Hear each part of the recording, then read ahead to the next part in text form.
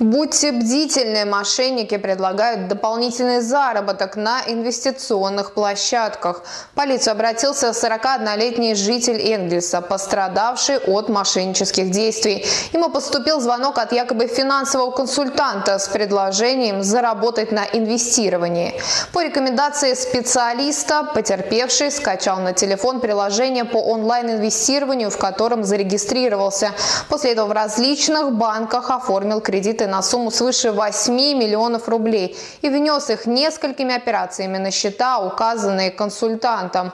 После того, как деньги у заявителя закончились, мошенники перестали выходить на связь. Обещали заработок, то есть обещали то, что сумма, взятая в кредит, она будет погашена в течение 20 дней. Угу. Она будет вернута, э, возвращена в банку. Угу. И то есть ничего рискованного для меня не, не произойдет. То есть как бы банк мы не обманем, то есть вернем деньги банку, только, только немного заработаем на этом. Угу. То есть а с этой сделки они планировали получить 20%. То есть остальная сумма должна, заработка должна была ну, достаться угу. мне.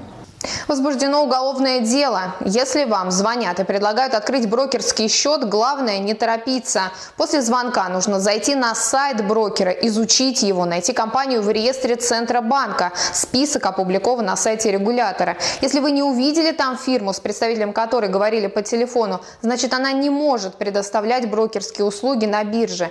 Не стоит открывать брокерский счет по ссылкам, которые присылают по почте или в мессенджерах. Любые подозрительные предложения надо просто просто игнорировать. Открывать счета лучше лично в офисе брокера или банка. Надежнее открыть счет на официальном сайте компании.